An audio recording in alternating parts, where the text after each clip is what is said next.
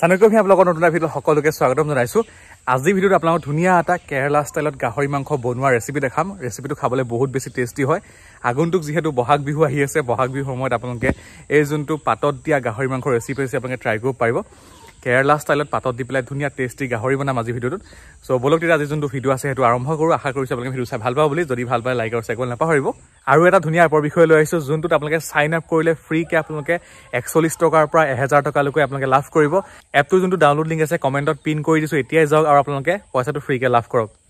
ৰেচিপিটো বনাবলৈ প্ৰথমতে আপুনি মাংসখিনি বইল কৰি ল'ব লাগিব। আৰু নিমখ চিমখ আপোনালোকে একো দিব নালাগে কেৱল মাংসখিনি বইল কৰিলে বইল হোৱাৰ পিছত মই পানীখিনি পেলাই দিলোঁ ধুনীয়াকৈ এইখিনি সাৱধান হৈ গ'ল।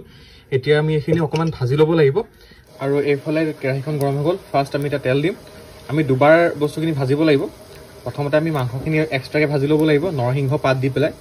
তাৰপিছত আমি বিলাহী আৰু পিঁয়াজৰ পেষ্টটো বনাব লাগিব ভাজি ভাজি। তো এতিয়া ফাৰ্ষ্ট আমি মাংসখিনিকে ভাজি লওঁ। তেল গৰম হ'ল এতিয়া নৰসিংহ পাত দিম আৰু এতিয়া ইয়াতে মাংসখিনি বইল যে কৰিছিলোঁ মাংসখিনি ইয়াতে দি দিব লাগিব। মই মানে গোটেই মাংসখিনি দি দিলোঁ।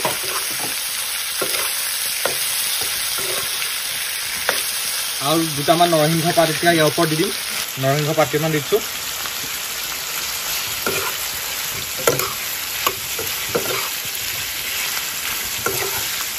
এতিয়া অকণমান ইয়াত নিমখ দিম।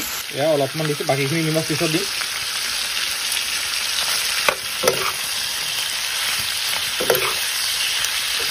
অকণমান কাশ্মীৰটো কাশ্মীৰ মিৰ্চ দিছোঁ।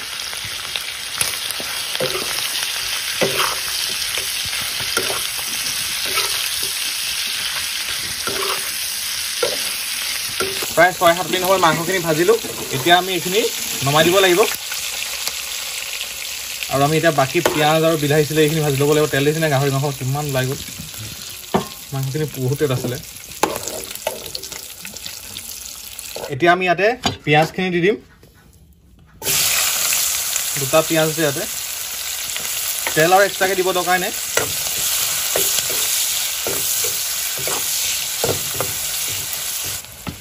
এতিয়া আমি দিম এটা আদা নহৰু।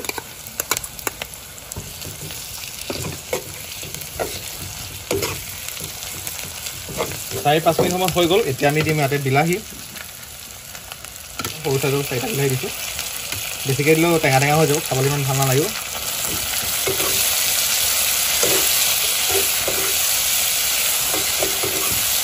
নিমখটো লগালগ দিয়ে দিব। নিমখটোৱে কি হয় বিলাহীটো ধুনীয়াকৈ গলাই দিয়ে। নিমখ যিহেতু আমি অথনি অকণমান দিয়া আছিলে এতিয়া আমি সেইকাৰণে অকণমান কমাই দিম। এয়া হৈ যাব।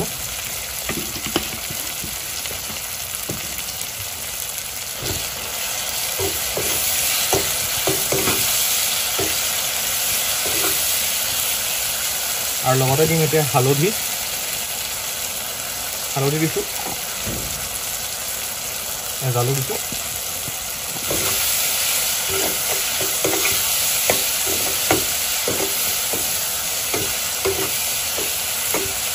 এতিয়া আমি বিলাহীখিনি গলালৈকে ধুনীয়াকৈ এইখিনি ভাজিব লাগিব।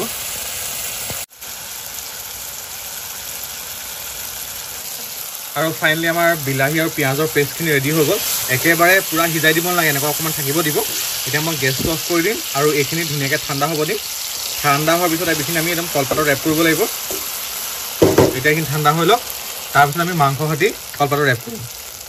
আৰু এতিয়া আমি মেইন প্ৰচেছটো আৰম্ভ কৰিম পেকিং কৰাটো। চ' এইখন কলপাতখন আপোনালোকে জুই থাকি ল'ব। ইয়াত আমি এতিয়া এইটো দিম।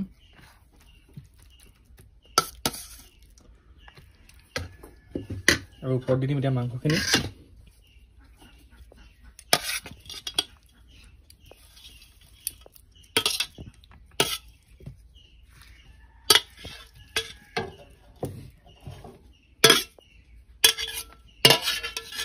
তেল পুৰা হৈ গৈছে ন?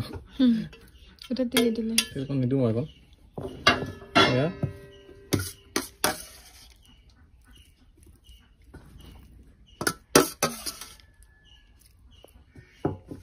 অকণমান তেনেকৈ মিক্স কৰি দিব লাগিব বস্তুটো। কলপাতখনতে এনেকৈ মিক্স কৰি দিম।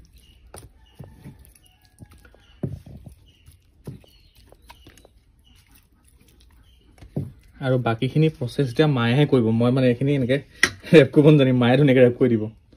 আৰু এতিয়া আমি ইয়াতে পেক কৰা এইটো দি দিব লাগিব বুজিছেনে আৰু এটা কথা আপোনালোকে মনত ৰাখিব এই কেৰাহীখনত অকণমান তেল থাকিব দিব এনেকৈ। মই কেৰেলা ষ্টাইলত যেনেকৈ বনাইছোঁ তেনেকৈ হেৰি কৰিছোঁ এতিয়াতো দি দিম। আৰু এখন ঢাকনা মাৰি দিম প্ৰায় এইটো পোন্ধৰ বিছ মিনিটমান সময় ৰাখিম। একজেক্ট টাইমটো কৈ দিম বাৰু আপোনাক কিমান মিনিট ৰাখোঁ। এতিয়া তেনেকৈ সিজি থাকক। তেল অকণমান খালি থাকিব দিব কেৰাহীখনত। আৰু এইটো একেবাৰে ল' ফ্লেমত দিব বস্তুটো। হাই ফ্লেমত নিদিব নহ'লে কলপাতখন দেৰি মাৰি কিবা হৈ যাবগৈ।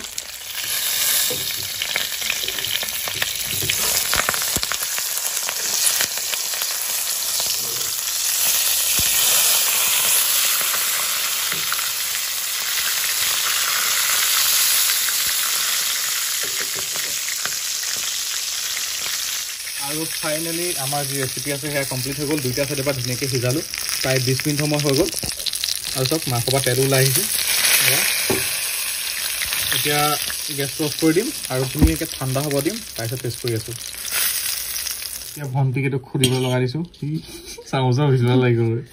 গোটেই তেল তেল হৈ যায়। গাহৰি মাংস এইটোৱে হেৰি তেল তেল হৈ যায় চব। খাবলৈও ধুনীয়া লাগে। কিন্তু পূৰা ধুনীয়া গোন্ধ আহিছে ন কলপাতৰ? অহ, গোটেই তেলে তেল এসপ্তাহ হ'লে তেল হেৰি কৰিলে হ'ব ভাজি তেল নিকিনো এনেকে সোমাই দিছোঁ পাতখন হেৰি কৰি গৰম হৈছে কি ধুনীয়া গোন্ধ আহিছে ন। আৰু এয়া চাওক এয়া হৈছে ফাইনেলটো কি ধুনীয়া গোন্ধ আহি আছে নহয় চিৰিয়াছলি তো এতিয়া ধুনীয়াকৈ টেষ্ট কৰিব লাগে টেষ্ট কৰাৰ এটা কাম কৰিব লাগিব খালি এইখিনি এনেকৈ মেৰিনেশ্যনটো মিক্স কৰি দিব লাগিব। কি ধুনীয়া কলপাতৰ গোন্ধ আহিছেনে কলপাতটো ধুনীয়াকৈ ভাজি ভাজ খাই গ'ল যে বস্তুটো মানে। তো ফাৰ্ষ্ট ফাৰ্ষ্ট যোনটো মছলা আছে মছলাটো খাই চাওঁ অকণমান। ঠিক আছে অকণমানটো খাই চাওঁ। মানে এইটো এইটো মিলাই চাওঁ।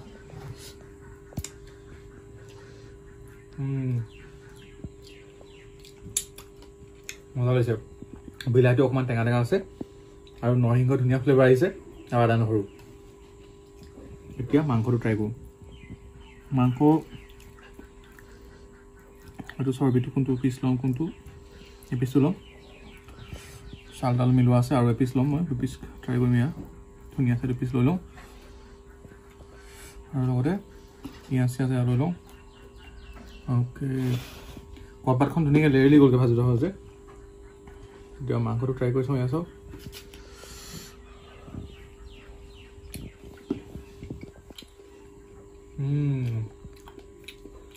মজা লাগিছে। কলপাতৰ ফ্লেভাৰটো বহুত ধুনীয়াকৈ আহিছে। নৰসিংহৰ ফ্লেভাৰটো আছে অকণমান ষ্ট্ৰংকৈ আৰু কলপাতৰ পূৰা ষ্ট্ৰংকৈ আছে। বহুত মজা লাগিছে। আৰু আমি সেইটো বইল কৰি চাম অকল যে কলপাতত যে বইল কৰি চাই যে এইবোৰ নিদিয়াকৈ বইল কৰি চাম। এইটো আমি কেৰেলা ষ্টাইলত বনাইছিলোঁ। আমি আছামিজ ষ্টাইলত বইল কৰি চাম এইবাৰ নেক্সট বাৰ। এয়া চাওক।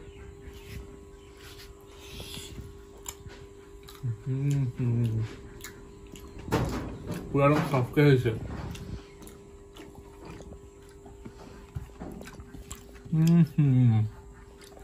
মাংস কোৱালিটিটো ধুনীয়া ল'ব। আৰু।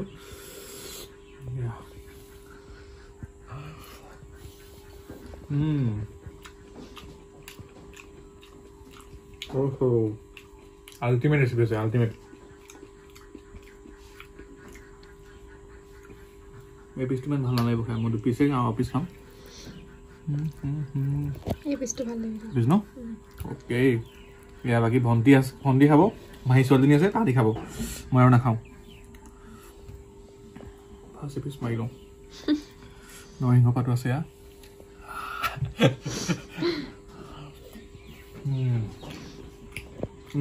জালুকৰ ফ্লেভাৰটো আহিছে এতিয়া এইটো বাইদেউ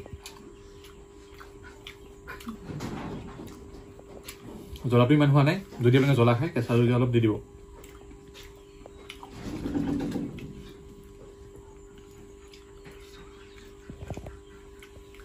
আৰু চাব ইয়াত মই পিঁয়াজৰ বিলাহীটো একেবাৰে সিজাই দিয়া নাই। পিঁয়াজটো যেন অকণমান এনেকৈ মানে মুখত চুবোৱা চুবাব লগা হৈছে বস্তুটো। চ' এনেকৈ আপোনালোকে ৰাখিব তেতিয়া খাবলৈ বেছি টেষ্টি হ'ব। পিঁয়াজটো এনেকৈ গোটা গোটাকৈ ৰাখিব। একেবাৰে সিজাই নেপেলাব আৰু এইখন চামুচখন লৈ লৈছোঁ মই দেই তোমালোকে শেষত দেই। এইটো ললোঁ। এয়া এবাৰ দেখাই দিওঁ পিচটো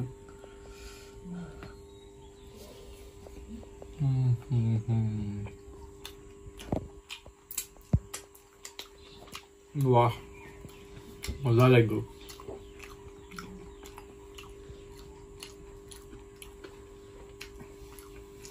কথা ক'ব মানে যোৱা ৰেচিপিটো সঁচাকৈ বহুত বেছি টেষ্টি হয় আপোনালোকে ট্ৰাই কৰিব যিকেইটা টেষ্ট হয় মানে বেলেগ বেলেগ ষ্টাইলত ট্ৰাই কৰিব লাগে সদায়নো আমি একেটানো কিমান বইল চনে খাই থাকিম চ' মাজে মাজে বেলেগ এটা সোৱাদ ল'ব লাগে যাতে একেটা সোৱাদত মানে আমনি নালাগে মাংসটো খাই পেলাই। চ' আশা কৰিলে আপোনালোকে এইটো ৰেচিপি ট্ৰাই কৰিব বুলি। খাবলৈ বহুত বেছি টেষ্টি হয় ট্ৰাই কৰিব। আজিলৈ আছোঁ তেতিয়াহ'লে সদায় গতে নিজৰ বিচাৰ আহিব ভগৱানৰ নামত কাম কৰিছে মই দিনে সফল হ'ব আৰু সদায় হাঁহি থাকিবলৈ চেষ্টা কৰিব।